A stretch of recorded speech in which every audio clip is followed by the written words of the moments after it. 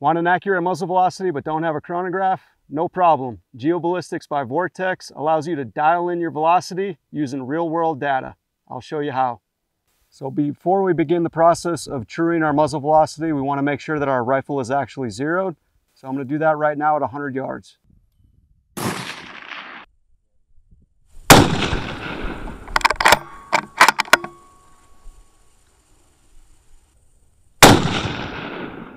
So I just shot a three round group and the gun is zeroed. Muzzle velocity is a key variable that we put into geoballistics. And if this is off even by a little bit, it can cause elevation issues for us at distance.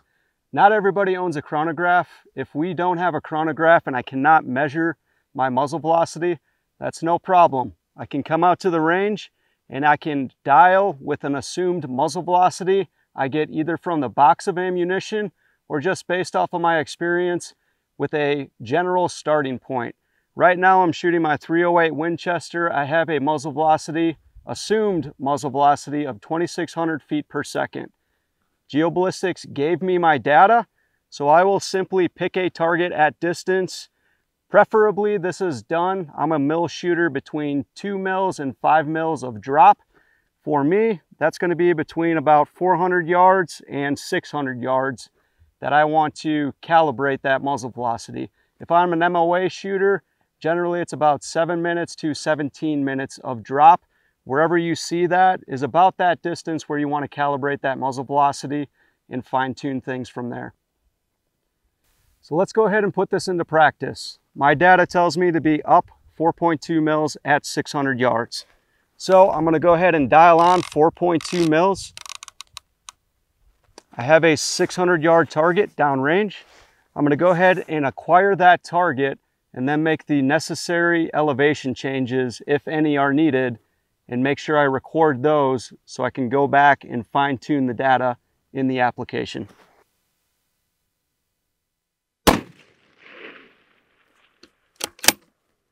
On that shot, I was about three tenths of a mil high.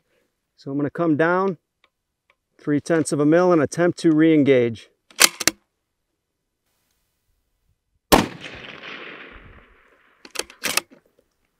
And in that shot, it resulted in a center impact on my intended target.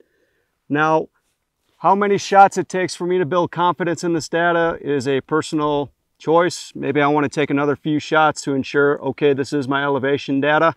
So I hit center on that. I'm going to go ahead and record 3.9 mils and then we'll go back in the application and we'll see how this can calibrate my muzzle velocity.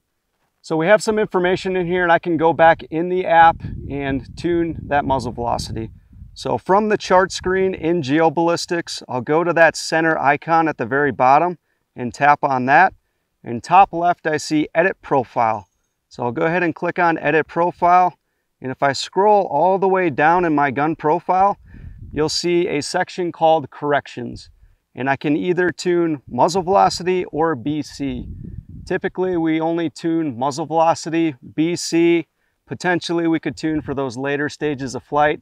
Muzzle velocity is gonna be the most relevant for most people's application. So we'll go ahead and we'll click calculate next to muzzle velocity truing. And I'll enter the range that I want to true at. So in this case, I was at 600. I'll hit done and it'll pop up with my actual drop based off of my current gun profile. So in this case, it was 4.2 mils, which I initially dialed onto my optic, but that's not where I ended. So I'll go ahead and erase that and I'll type in 3.9 mils, which is where I ended. In this case, it's telling me I need to be at 2,693 feet per second, as opposed to my predicted muzzle velocity, which I typed in 2,600. Now I'll hit apply and if I back out to my chart screen in GeoBallistics, you'll see at 600 yards, that is now matching what I'm hitting center with at 600. GeoBallistics is an awesome tool as it allows us to calibrate our muzzle velocity and true up this trajectory. But we as shooters need to make sure that we're doing our due diligence. One, is it me, the shooter? Am I throwing my shot? Is that what's causing the elevation error?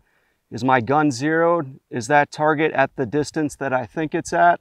There's a lot of things that I need to be going through and checking, checking through my data, my gun profile to make sure all the variables are what they're supposed to be.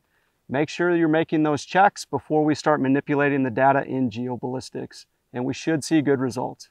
That's how easy it is to get an accurate muzzle velocity. No chronograph needed. Download GeoBallistics for free and start dialing in your shots today you